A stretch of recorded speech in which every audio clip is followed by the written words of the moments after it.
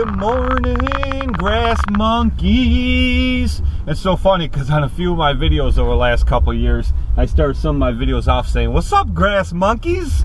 And uh, I met a guy the other day on YouTube that uh, has a business actually called Grass Monkey Lawn Care. That's awesome. Super cool, super cool. Uh, so what am I doing today? Um, well, I am playing basketball. No, I'm not. I'm actually no good at basketball. You really don't want to see me play basketball. It looked like, uh, I don't know. It, it looked pretty bad. It looked pretty bad. Um, but every time I go in Napa, those guys always give me stuff. I gotta have 30 different style Napa hats sitting in my house, and I think my wife gets irritated because I leave them laying around all the time. But hey, what are you gonna do, right? Um, better than leaving my dirty britches laying around. But uh, yeah. So any every time I go in there, they give me stuff, basketballs for the kids, freaking. They've given me T-shirts, hats, whatever, whatever their promotion thing is. But I have a commercial account with them, and I know all them guys, couple of them I fix their lawnmowers for them, and things like that. They're really good people in there. But anyway, um, I had to come up and get some oil for this truck, the GMC, because the light come on yesterday and said, check oil, bastard. No, I didn't really say that, but it did say check oil, or um, change oil. Oil change due, something like that. I don't know what the hell it says. Oil change due.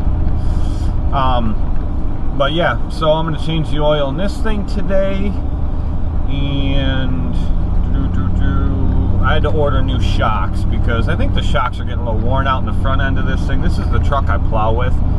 And uh, I really have, over the last couple years of plowing with it, I haven't replaced anything in the front end. But like you guys know, I don't beat the crap out of my truck or my plow. And uh, I put, last year I put Timbrens in the front end of this thing. If you don't know what Timbrens are, Google it. Check it out. Uh, they make a world of difference. Um, I don't care if you have a 1500, 2500, 3500. I don't care what size truck you have. They can make a difference for you. And that's not a sales pitch. I'm not advertising for them. I'm just saying they uh, they're awesome. So, and you can get them for what they do is they it's it takes five minutes. I did it right in my freaking driveway. I just jacked up the truck a little bit. You take a pry bar or big screwdriver or anything, and the, they're just rubber bushings about that tall, and they go in between the body and the frame. You just go bloop, and you pop them right out. You take the other ones, you set them in there, you kind of twist them so they're tight, and you let the truck down. And as the truck comes down, hits the frame, it pushes them right in. Done. No tools, no nothing, other than screwdriver, pry bar, whatever. But uh, anyway, what it did is uh, when I lift the blade of my truck, or if I when I lift the plow blade on the truck, it was dropping the front end of my truck about three and a half inches. And now that I have the Timbrens in there, when I lift the blade up, my truck sinks in the front end maybe a half inch. So they make a huge difference. They keep from putting all that extra weight on the on the front end of the truck. Well, they keep from putting all that pressure on all your front end parts. They keep the truck from looking like this when you're going down the road with this being the front end. You know, you see a lot of trucks like that. Um, but anyway, so I think my shocks are getting a little tired out in the front, and. Uh, I run the gas magnums in my trucks. Those are really, really good gas shocks. They're made by Monroe. And uh, I don't run air shocks. I know you can adjust the air pressures and this and that. I don't run any of those other shocks. I run straight gas shocks.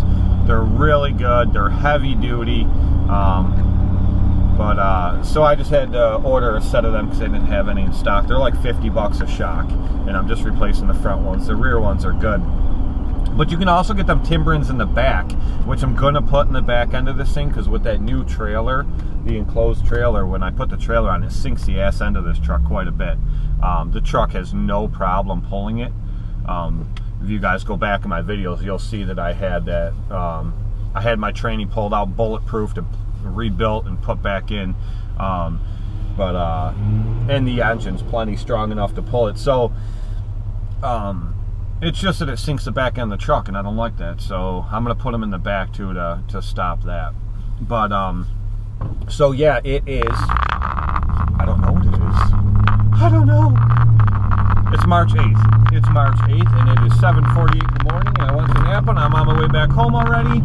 Um, but it is supposed to get into the 60s today. It, it hit 60, 61 yesterday, and it's supposed to, they said a good chance it could actually hit 70 tomorrow. Um, but it's supposed to rain like tomorrow right through to like Saturday or something. But I don't care. I'll take a little bit of rain. Nothing. It's not supposed to be anything bad. I'll take a little bit of rain with these temperatures because we don't see these temperatures in March in my area. Um, it's still usually in the 30s or 40s. 40s is a high, but usually the 30s around this time of year. Um, so I'll take it. And they were saying it's just going to be those temperatures for this week, but now they're saying it's supposed to hold those temperatures till at least the next two, three weeks. So bring it on. Um, so what I'm doing today is uh, I'll show you guys inside the trailer. I bought these new hooks. I stole them. Stole them. Um, if you guys know what the track system is, they used to sell at Home Depot. You can screw the track to the wall and hang all these different style hooks from it. Well, Home Depot decided to go with a different style, so they clear install that stuff.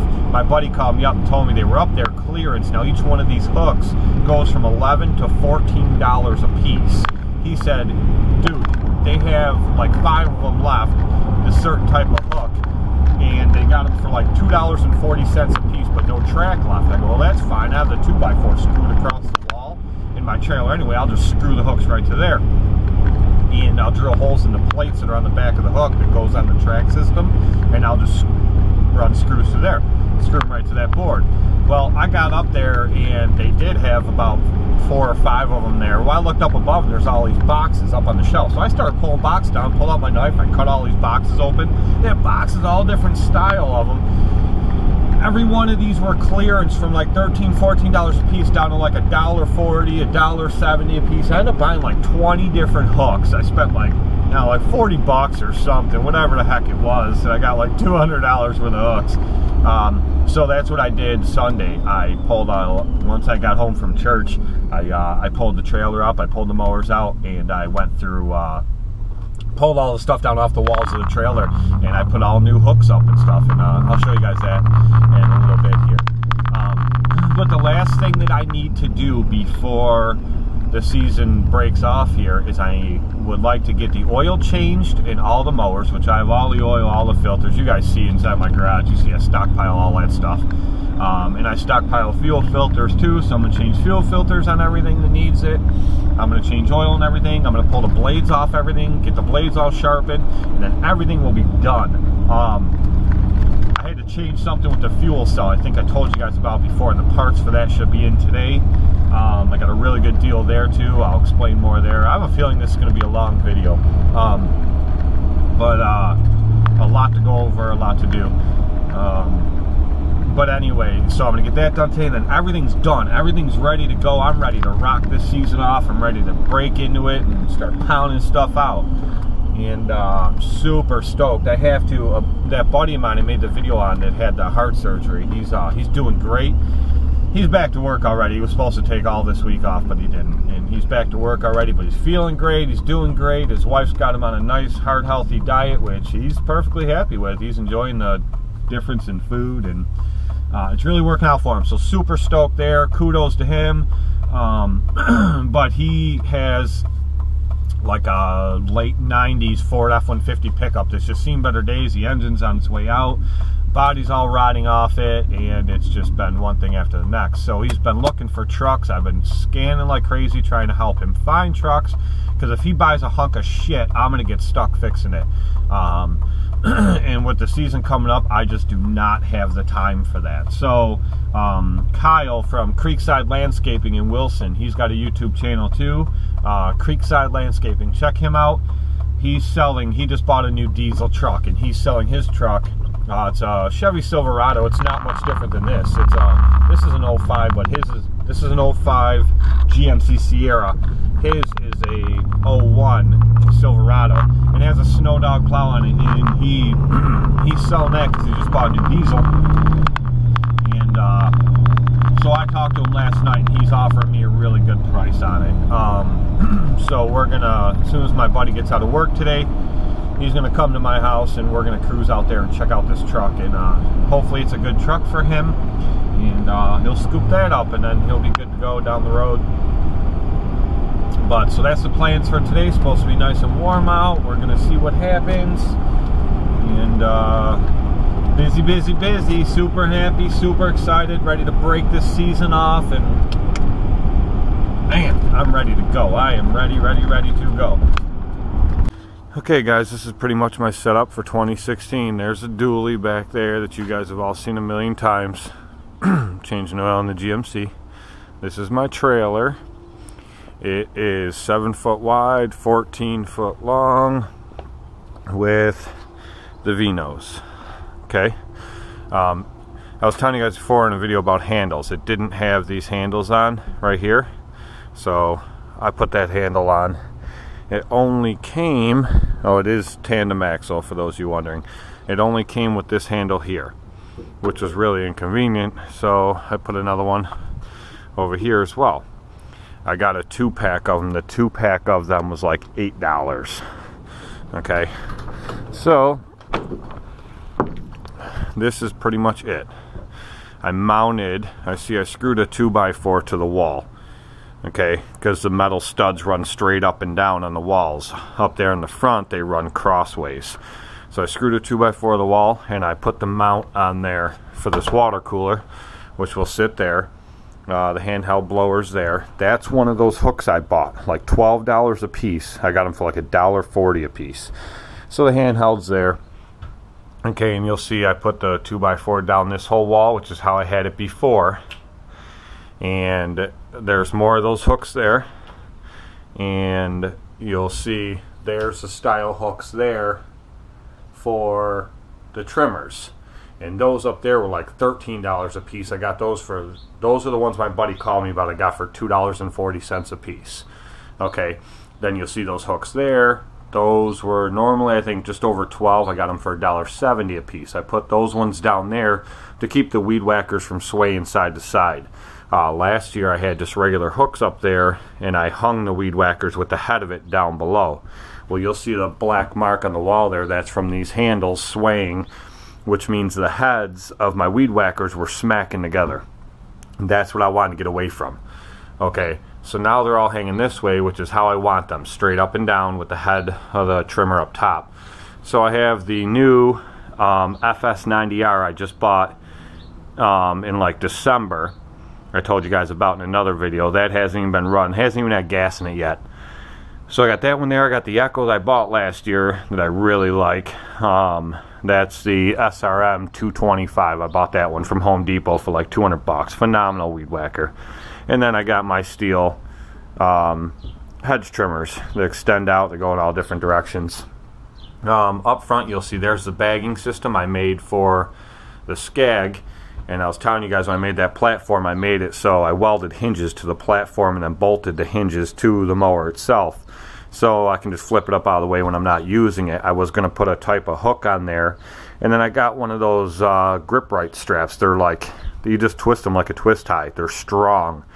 And I figured that's it holds it tight. It's going to make it much quieter. It's a lot easier to hook up than just fabbing up some type of hook on there. Um, I still got to paint all that. I built that over the winter. You guys saw that. Um, so that all still needs to be painted. I'll pull it off and paint it all before the season starts. Um, and there's my fuel cell. Let's see here. I'm just to move some stuff real quick. This is pretty much my setup for the year. So that's how I got set in here. I will pull this out of here.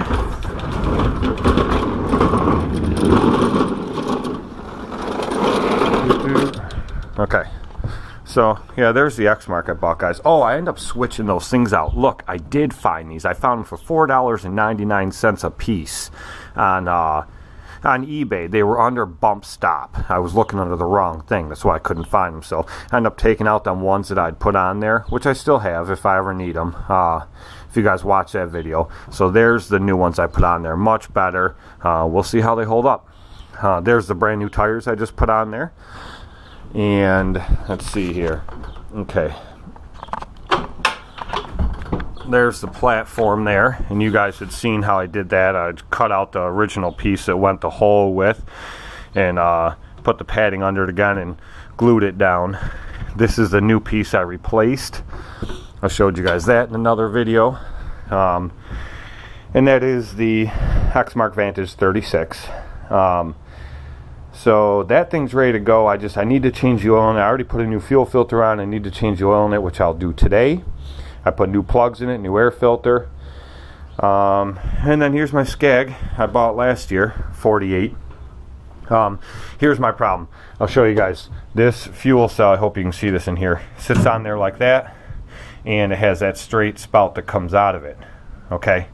The new one I ordered today. Now I looked all over for one of those spouts that come out the top. I looked all over for the one that curves over. So my hose is down at an angle. Yeah, I got just some oils up there, hedge trimmers up there, fire extinguisher, safety kit, stuff like that. This is just my basic setup. Oh, and I put, I think I showed you guys last year, I got my thing of line up there. Um, I'll show you real quick what I'm talking about with that uh, with that line. So that piece comes straight out of the top of the pump there. And oh, here's the other three Stihls I bought last year. There's one there, one there, one there. I'm not even using them. Here's the line, okay? This is the line that comes out of the top. Now you stick that end in whatever you're fueling and you just crank it for every 12 revolutions you get a gallon of gas. Um, I had to hold up on the top where the hose comes out to keep it from kinking over. Well, see that hole? It ended up tearing a hole right through it because I wasn't watching it every time.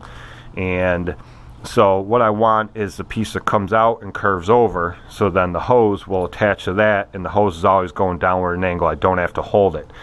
Um, to find that piece, I couldn't find it anywhere. No matter where I looked, I tried finding an alternative, everything. Well, I found on eBay you can get the whole new pump, the shaft that goes down the tank, the rotary pump itself, and the nozzle that comes out of the top and curves over, which just screws in. You can screw it out. So I'm going to take it and put it in that one, which that should be in today. Um, and the whole entire setup, everything was 26 bucks. So um, I'm going to put that on today when that comes in. Um, but for right now, I'm going to get these mowers out, change the oil on them, and change the blades, or sharpen the blades. I'm going to pull all the blades off, sharpen all the blades that uh, Exmark Vantage came with a brand new set of Gator mulching blades on it. They haven't even been run. The stickers are still on the blades. The uh, the coating that comes across the edge of the blade that you got to sharpen off so you have a nice sharp edge. Um, that's not even off of them yet. So it's a brand new set, uh, which will be fine for spring and fall. Um, I think I mentioned you guys before in my videos. Uh, spring and fall, I run Gator blades on my mowers, but during the summer, um, I run super high lifts. That's what I run. You can get the regular high lifts, you can get the super high lifts. I run the supers. It grabs that grass and just sucks it straight up before you cut it, which allows me to go a lot faster and still get a cleaner cut. Uh, with regular blades and gator blades, if I go as fast as my mowers will go, it leaves stragglers behind. Um, and I get a perfect 30 degree angle on my blades every time. I have a Neary blade sharpener um, and it's dialed right in. Um, so my blades would be razor sharp, uh, and I can fly and I still leave stragglers with those kinds of blades. Um, I don't know if everybody's mowers do, mine do. I've run them on everything from walk behinds to standers to zeros, and the same issue every time. Um, so I gotta go a little bit slower. So during the summer, when I don't need all that mulching capabilities, I just run the super high lifts. Um, I keep them nice and sharp, and uh, and I can fly and uh, it leaves that nice perfect cut every time. So, so that's the deal. But uh, all right, time to do some maintenance. All right, guys. So here's the deal. Had that shoved down in there for a while. Take this out of here. This screws in here. All that for just this one piece.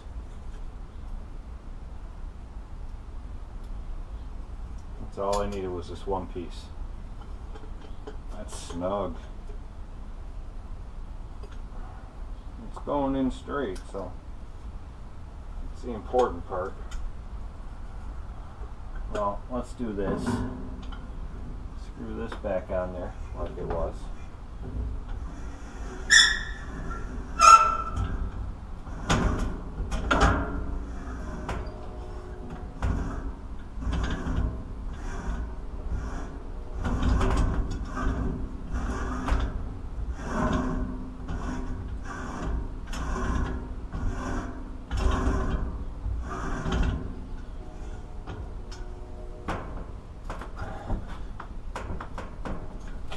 so I wanted that.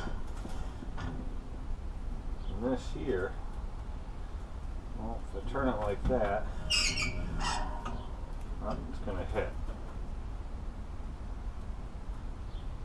So, I guess, I don't know how much more I can screw this in, but put it like that, so it comes out, down. So, that's it. I just attach my hose to here and in a downward angle. It's not sticking up. I don't have to hold it the whole time. That's that.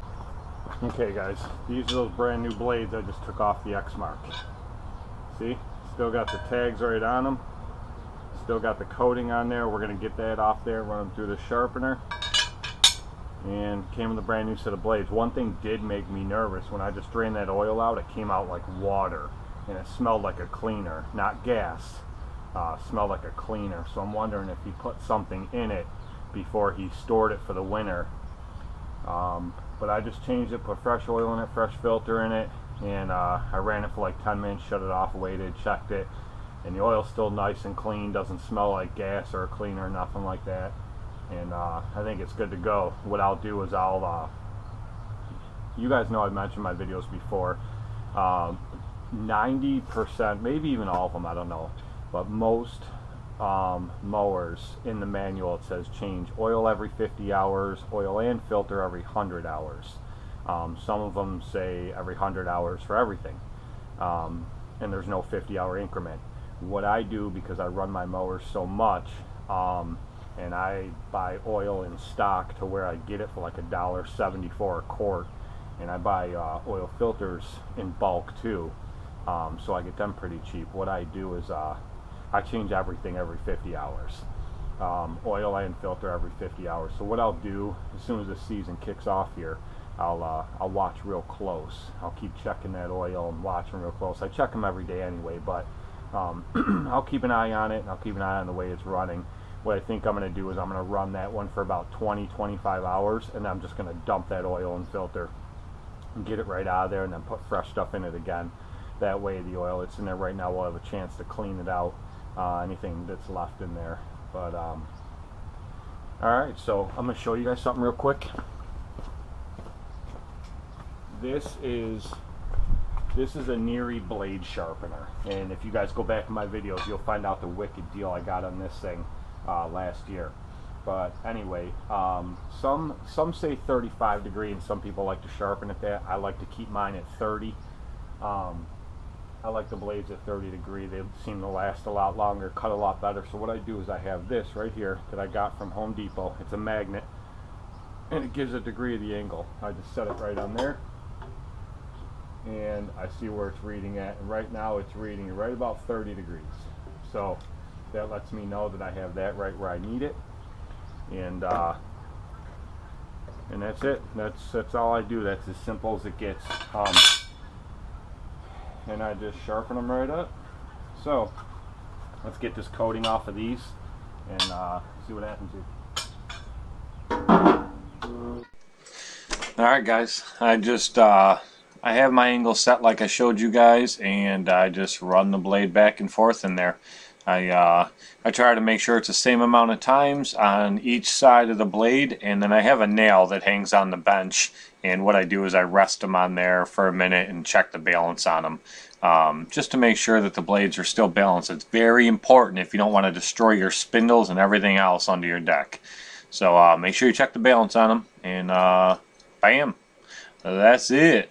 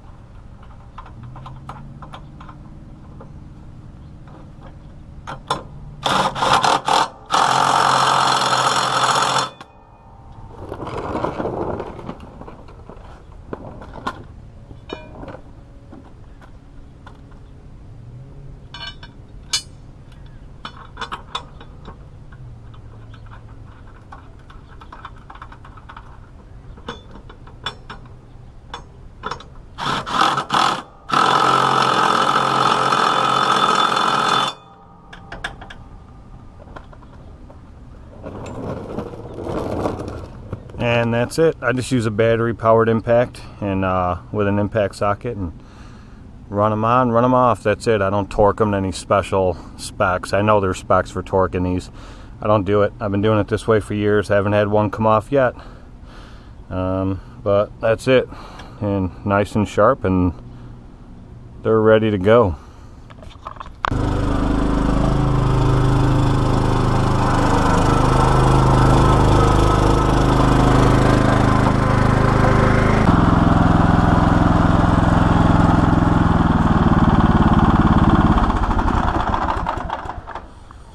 Alright guys, so this is the Ferris. You guys have seen this before.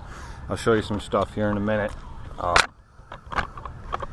changing the oil on this one's easy. It's just, uh, you know what, what's that one?